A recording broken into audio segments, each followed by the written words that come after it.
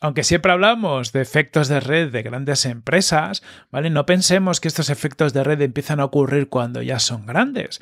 De hecho, el uso de los efectos de red es muy útil y, seguramente la pieza de clave para el crecimiento de lo que ahora son grandes empresas, pero en sus inicios.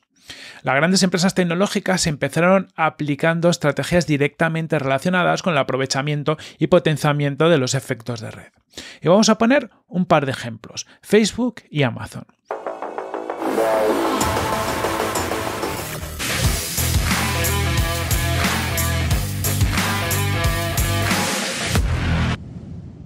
Empecemos por Facebook.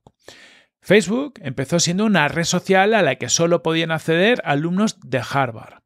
Tan restringida estaba Facebook que necesitabas tener un correo del propio Harvard para poder acceder al principio, ¿vale? Solo podías acceder si eras de Harvard. Esto podría hacer, parecer algo limitante, es algo que muchos dirían, no, no voy a hacerlo porque lo que estoy haciendo es limitando mi posible uso, pero es lo que aportó muchísimo valor. ¿Por qué? Porque al final Harvard es un ámbito eh, geográfico muy pequeño donde hay una gran concentración de gente con intereses similares. Por lo tanto, era relativamente fácil que cuando tú entraras a Facebook encontraras amigos, encontraras a gente con la que te pudieras comunicar, haciendo que de repente Facebook tuviera muchísimo valor para ti. ¿vale? Lo que estabas haciendo es incrementar muchísimo el valor percibido. ¿vale? Es algo que también tenemos que tener en cuenta cada vez que lanzamos algo. Podemos lanzar evidentemente un mercado masivo, pero cuanto más nicho lancemos, más vamos a concentrar el valor. Es mucho más interesante que cuando yo voy a entrar a un servicio que tiene efectos de red, de repente encuentre amigos que ya conozco si es algo de comunicación o de repente encuentre eh, conductores en mi zona si es un servicio tipo Uber o Cabify, porque ahí me da igual que tengan muchos taxis o muchos coches en la otra parte del mundo. Lo que me interesa es en mi ámbito concreto.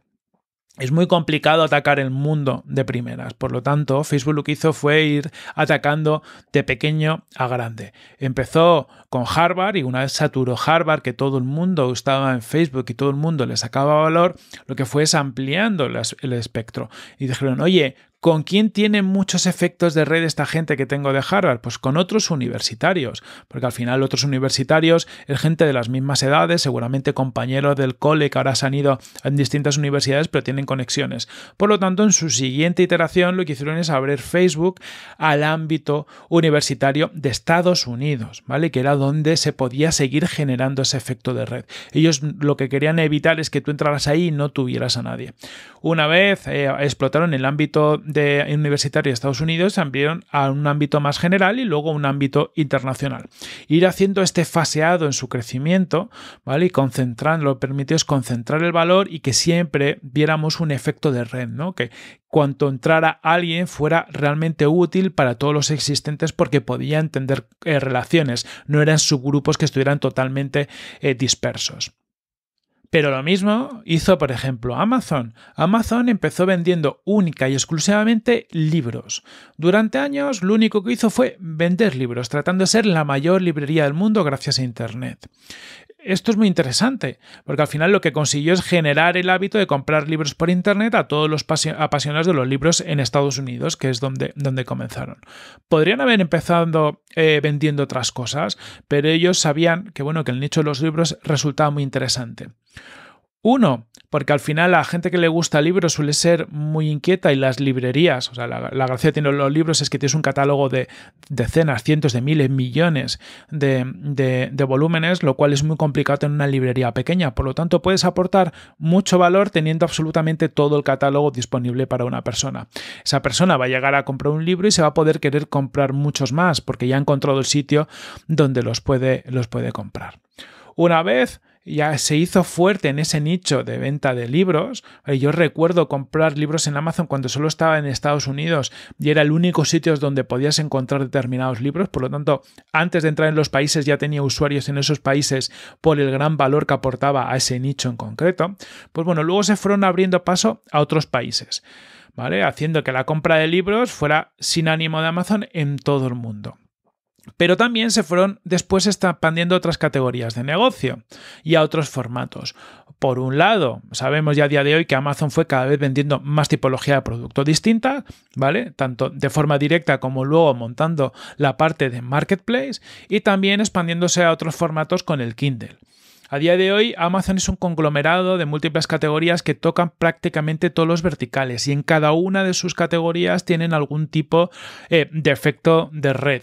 ¿Vale? Por ejemplo, el Kindle es una plataforma que tiene efectos de red, porque al final tiene muchísimos proveedores de contenidos, que son esas editoriales, incluso eh, autores independientes y muchos lectores, y aporta mucho valor a ambas partes. Como Marketplace también tiene efectos de red en, dos partes, tiene a todos, los, a todos los sellers y a todas las marcas por un lado, y luego tiene a todos los compradores por, por otros.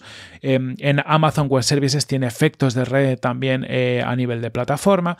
Ellos han ido construyendo distintos verticales, pero empezando haciendo algo muy concreto, saturando, aportando mucho valor a una parte muy concreta del mercado.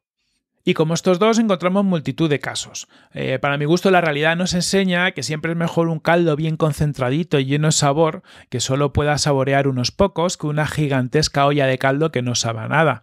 ¿Vale? Yo que soy muy fan de, la comida y de Masterchef, siempre se lo he escuchado a Jordi, a Jordi Cruz y creo que aplica a todos los lados. ¿no? Concentremos el valor en aquella gente que sabe, que es capaz de entender o percibir ese valor y a partir de ahí construyamos hacia afuera. Y si quieres seguir aprendiendo conceptos, metodología y tácticas de growth para hacer crecer tu negocio, apúntate a Product Hackers Go, nuestro membership formativo sobre growth, con los mejores cursos, una comunidad muy activa sobre growth y sesiones live que realizamos todos los meses para que puedas aclarar todas tus dudas y crecer como nunca. Vete a go.producthackers.com y pasa al siguiente nivel.